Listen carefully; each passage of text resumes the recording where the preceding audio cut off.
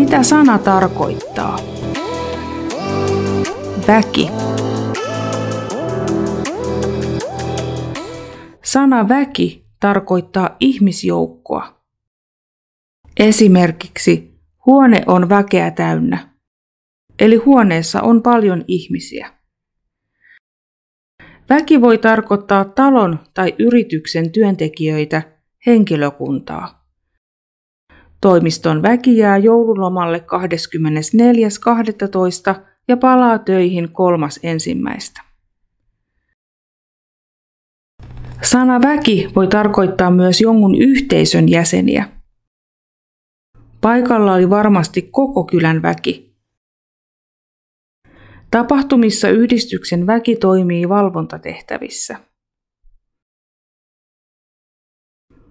Mutta mitä sitten tarkoittaa sana väkivalta tai ilmaus väellä ja voimalla? Sanan väki vanha alkuperäinen merkitys on ollut voima. Se säilyi yhdyssanoissa kuten väkivalta ja väkijuoma, ja sanonnoissa kuten väellä ja voimalla.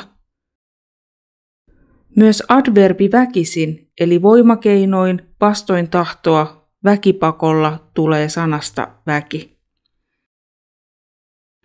Sana on saanut uuden merkityksen ilmeisesti sellaisten yhdyssanojen kuten sotaväki ja talkooväki pohjalta.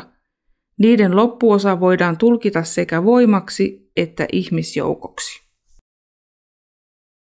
Suomen mytologiassa väki tarkoittaa jonkun paikan kuviteltuja haltiaolentoja, esimerkiksi metsänväki tai vedenväki.